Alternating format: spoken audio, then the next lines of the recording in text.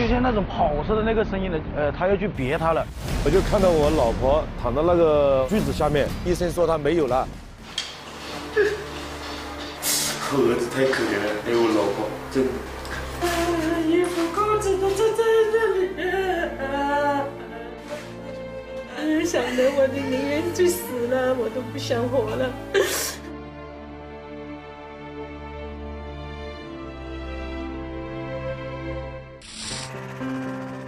这位面带忧愁的中年男子叫刘运深，广西桂林市兴安县人。这段时间里，他几乎每天都会来到家后面的小山坡，茫然地看着路上的车辆行人，一坐就是好久。他也不愿意回到家中，因为他无法面对那种生离死别的残酷现实。我儿子太可怜了，还有我老婆，真的。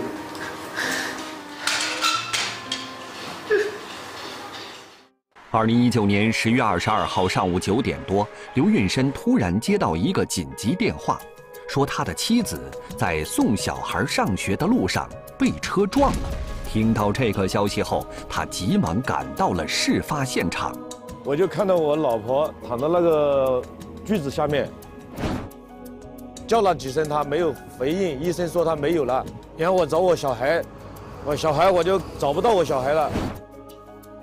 刘浩源就是说他的书包还有鞋子，红领巾在这里，啊，当时我就慌了，听他们说已经幺二零拉到移民医院去了。在离自己妻儿出事的前方，刘运生发现还有一个骑摩托车的男子也同时被撞。在这个二三十米这里，这全部是血，车子在更远，车子是到五十米了。刘运生发现。这名骑摩托车的男子也没有生命的迹象，这是路人当时拍摄的事发现场，可以看到事故非常惨烈。记者采访时，事故已过去了两个多月，但马路上的车轮痕迹还清晰可见，树木被拦腰折断，花坛被撞得七零八落，一片狼藉。啊，你看这个是花岗岩，这个花篮的围啊，全部是很厚很结实的。几块都撞断了，撞裂了。刘运生说，当时相撞的两辆车，其中的一辆还冲进了旁边公园的围栏里，可见撞击的异常猛烈。三个锯子也撞倒了，车子就钻到这里面。这条马路名叫双拥路，而事发的这段路面远离主城区，没有监控。当时车祸到底是怎么发生的呢？记者找到了一位现场的目击者，当时他正行走在这条马路上，准备去上班。当时他看到两辆车一前一后快速的开了过来，他一下子加速，我就朝后面瞄，就像那种跑车的那个声音了，就是两个车没有安全间距了。那个时候我也说出来了这句话，就是说，呃，他要去别他了。目击者觉得这绝对是故意追逐碰撞。在他刚这么想的时候，两辆车已经撞击到了一起，他当时一下子都没反应过来。我可能大概在这里站了有十秒钟左右吧，我才报的幺二零。我自己也没见过发生过这么大的事。幺二零急救车很快来到现场，迅速把刘运生的儿子送到了兴安县人民医院进行抢救。交警也赶来勘察现场。之前那是说呢，就跟骗我们说。啊，他们只是朋友关系。后来呢，进一步询问了之后呢，啊，他说他两个是两口子，而且年龄有有一点偏差。啊，这个男的话呢，呃，七七年，这个女的话呢是九二年。在此次车祸中，这对肇事的夫妇基本没有受伤。但是却造成刘运生的妻子当场死亡，七岁的儿子受重伤。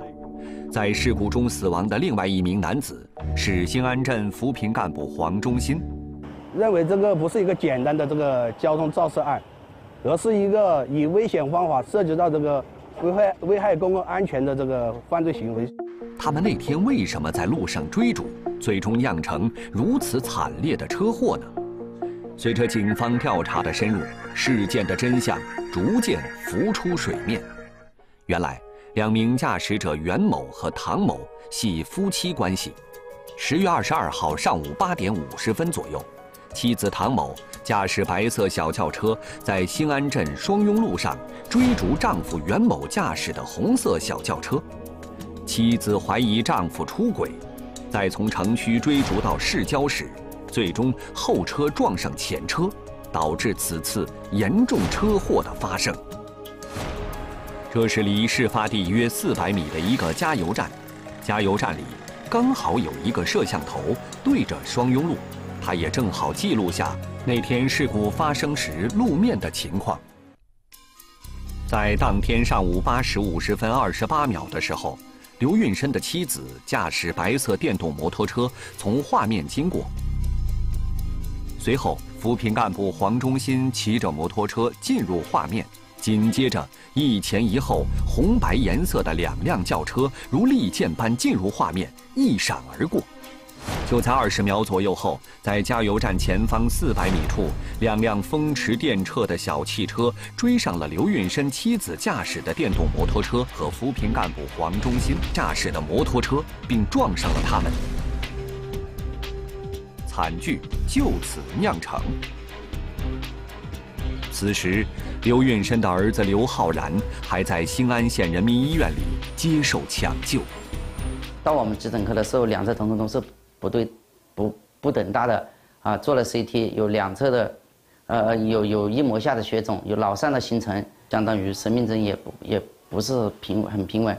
医生说，孩子最大的问题来自于头部，头颅遭受了严重撞击。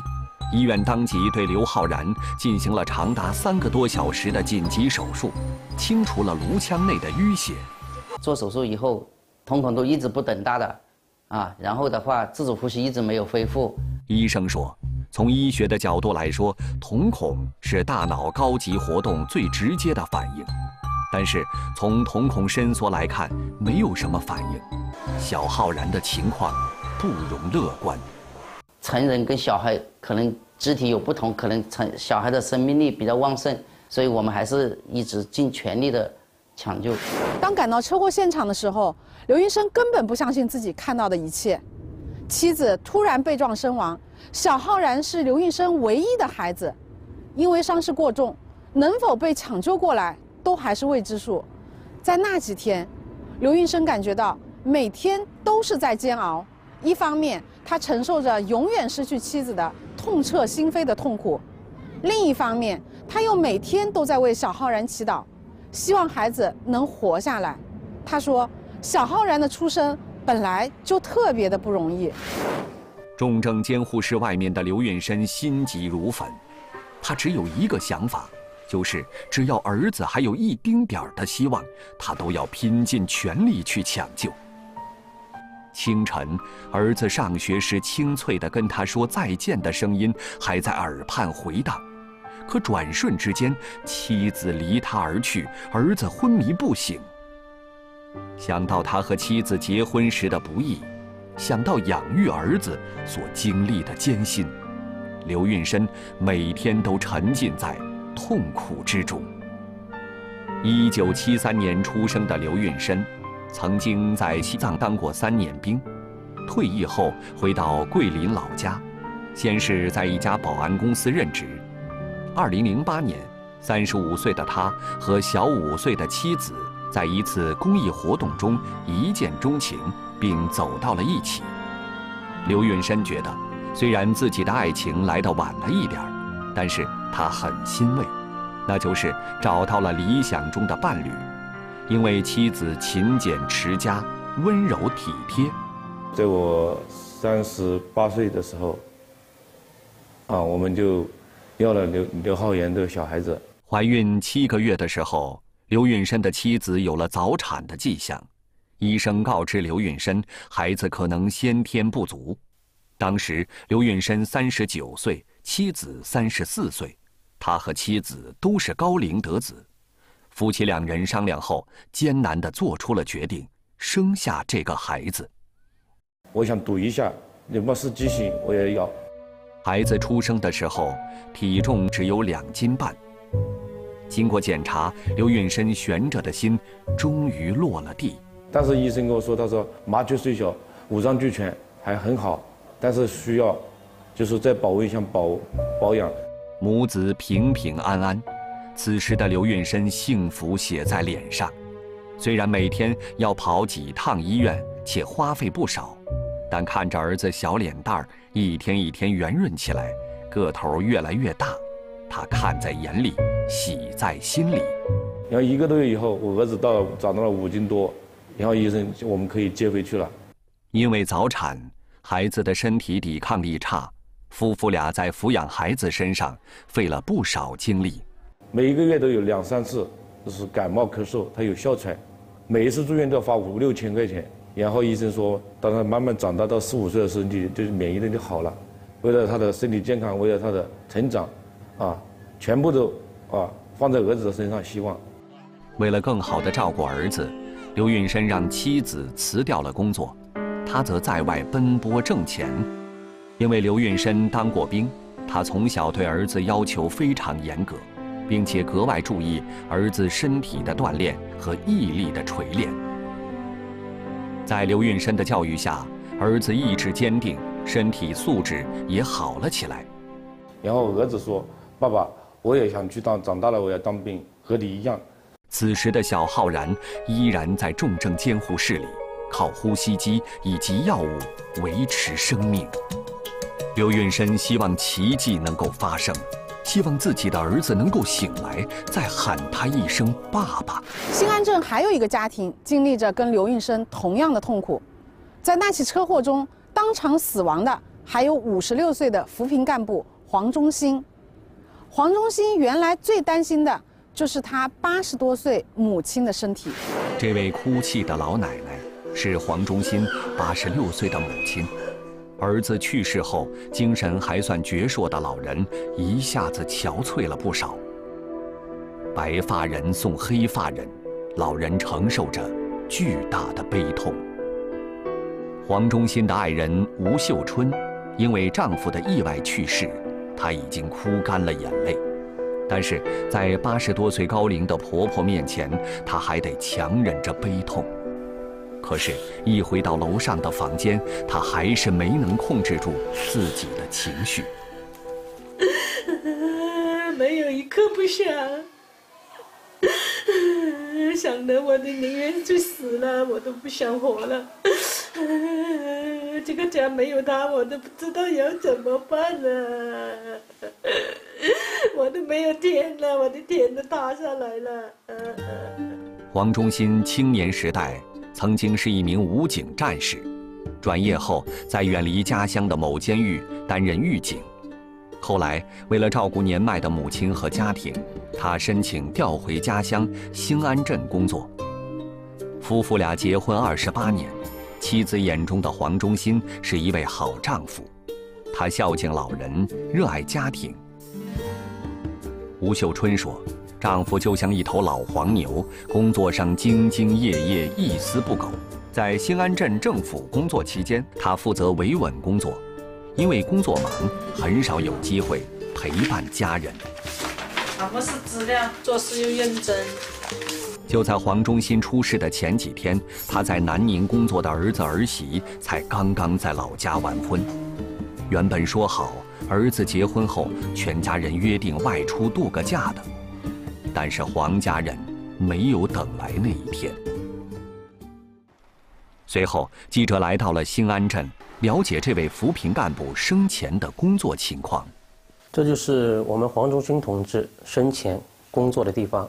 多少年来一直勤勤恳恳地在基层工作，为我们失去了这么一名优秀的党员和驻村工作队员感到非常的悲痛。据同事介绍，黄忠新多年来一直从事调解工作，是镇里出了名的调解能手，深受群众信赖。二零一六年，尽管有机会选择比较轻松的岗位，但黄忠新还是主动申请驻村扶贫。并且选择了条件比较差的三桂村。随后，记者随黄忠新的爱人来到了他扶贫所在的三桂村。从家里面，他从家里面拿来的，我一眼都看得出了。衣服裤子都在这里。黄忠新的爱人说，儿子从南宁回来探亲，常常跟爸爸一起下乡。看到父亲连一个放衣服的地方都没有，就买了这个简易的衣柜。看到丈夫的衣服依然挂在衣柜里，还有吃剩的药品，黄忠新的爱人禁不住潸然泪下。黄忠新意外去世的消息已经传遍了这个小村庄，他们都为失去黄忠新这样一位好干部感到惋惜。我的病人是个很好的干部。在下雨的时候，他都是下来了的。有时候我们叫他在下面吃饭，他都没有。然后我要去山脚啊，有贫困户啊，他要还要走一道。那天，黄忠新正是从镇里取了扶贫资料，然后骑上摩托车准备回到村里，没想到永远的倒在了扶贫路上。袁某、谭某因为家庭矛盾，把本该在家里解决的纷争。转移到了公共道路上，造成了他人伤亡的极端事件。每个人的生命都是无法重来的单行道，在这条单行道上会经历各种的艰难、各种的考验。可是这起事件是根本就不该发生的。当袁某、唐某在城市道路上疯狂驾驶的时候，不仅把自己送到了一个危险的境地，更是亲手夺去了无辜人的生命。刘运生已经痛失爱人。他唯一的孩子小浩然才刚上小学，小浩然是否能被抢救过来，继续他的美好人生呢？事发之后，两名肇事者会对被他们亲手摧毁的这两个家庭说些什么呢？请明天继续关注我们的节目。